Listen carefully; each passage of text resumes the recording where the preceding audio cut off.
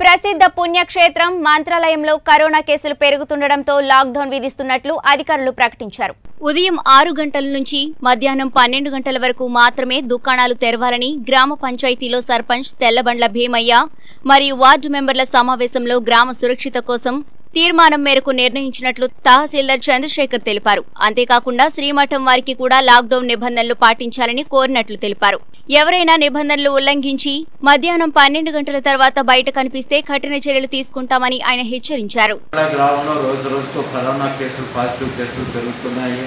అందులో మరణాల సంఖ్య కూడా పెరుగుతుంది కాబట్టి ఈ కరోనా విజృంభణను దృష్టిలో పెట్టుకొని మనం కూడా మంత్రాలయంలో లాక్డౌన్ ప్రకటించవలసిందిగా గ్రామ పంచాయతీ వారు తీర్మానం చేసినారు. కావున రేపటి నుంచి ఉదయం ఆరు గంటల నుంచి పన్నెండు గంటల వరకు లాక్డౌన్ విధించడం అయింది. ప్రజల యొక్క నిత్యావసర సరుకులకు మాత్రమే ఏమి పర్మిషన్ ఇవ్వడం అయింది. అంటే ముఖ్యంగా పాలు కూరగాయలు అటువంటి దానికి మాత్రం పర్మిషన్ ఇవ్వడం అయింది.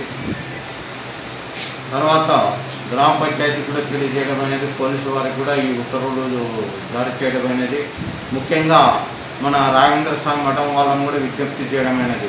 మీరు కూడా లాక్డౌన్లో సరైన నిర్ణయం తీసుకొని తగు నియమ నిబంధనలు లాక్డౌన్ నియమ నియమ నిబంధనలు పాటించవలసిందిగా వారికి కూడా విజ్ఞప్తి చేయడం అనేది.